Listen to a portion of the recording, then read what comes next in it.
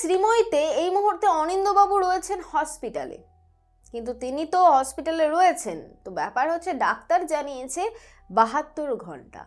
বাহাত্তর ঘণ্টা না গেলে কিছুই বলা যাবে না। তো আমাদের ডিঙ্কা অপেক্ষা করছে। এখন হসপিটালের একটা জায়গায় বসে বসে সে অপেক্ষা করছে যে এই বুঝি কোনো ভালো খবর আসবে কিংবা এই বুঝি কোনো খারাপ খবর আসবে। তার পাশে রয়েছে তার প্রাক্তন প্রেমিকা, অর্থাৎ অর্ণা। অর্ণার সাথে আমাদের ডিঙ্কার বেশ কথাবার্তা চলছে কিন্তু হঠাৎ করেই ডিঙ্কা এমন কিছু বলে যাতে অর্ণা অনেকটা অবাক হয়ে যায়। অর্ণা বারে বারেই বলছে যে, তুই কিয়ার সাথে সম্পর্কটা ভালো করে নে। কিন্তু ডিঙ্কা জানিয়ে দিয়েছে যে, তার পক্ষে সেটা সম্ভব নয়।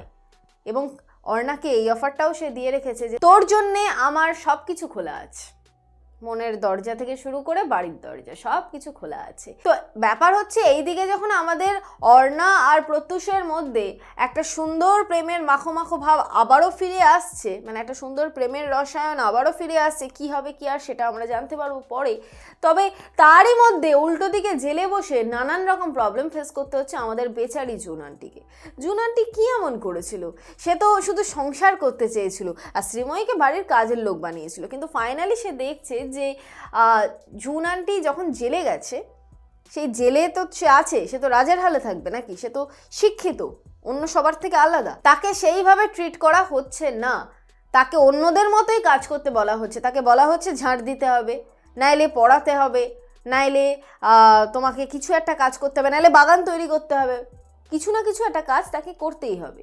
তো ব্যাপার হচ্ছে জেলের বাকি কয়েদিরা কেন এই ব্যাপারটাকে মেনে নেবে? তারাও খুন করে এসেছে, এও খুন করে এসেছে। প্রায় বলতে গেলে এরকমই ব্যাপার। সেও অপরাধী আমি অপরাধী। তাহলে আমি কেন প্রবলেমটা ফেস করব, সে কেন করবে না? তো সমস্ত মানে যে সেলটাতে সে রয়েছে, তাতে তো আরও আদার্স কয়েদিরা রয়েছে, তারা এবার খেপে উঠেছে।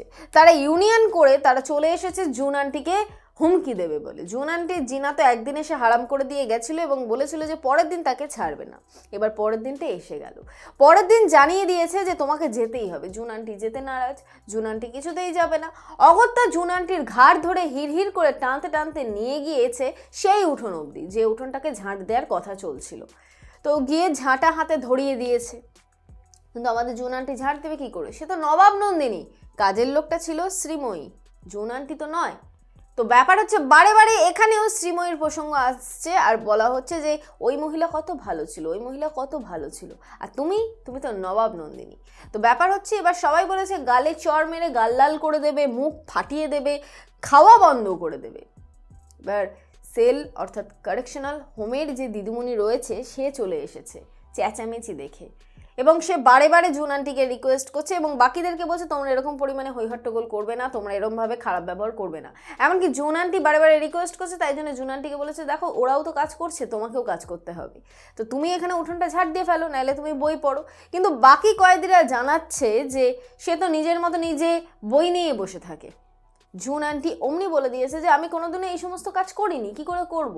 আমি সারা জীবন লেখাপড়া করেছি, লেখাপড়ার কাজ করেছি। তো কয়েদিদেরও উত্তর রেডি লেখাপড়া করে তুমি কোন কম্মটা করেছ? তো ব্যাপার হচ্ছে জুন আন্টির জিনাটা পুরোপুরি হারাম হয়ে গেছে। জুন আন্টি এখন অগত্যা কাঁদো কাঁদো চোখে উঠোন ঝাড় দিচ্ছে, ভাবা যায়?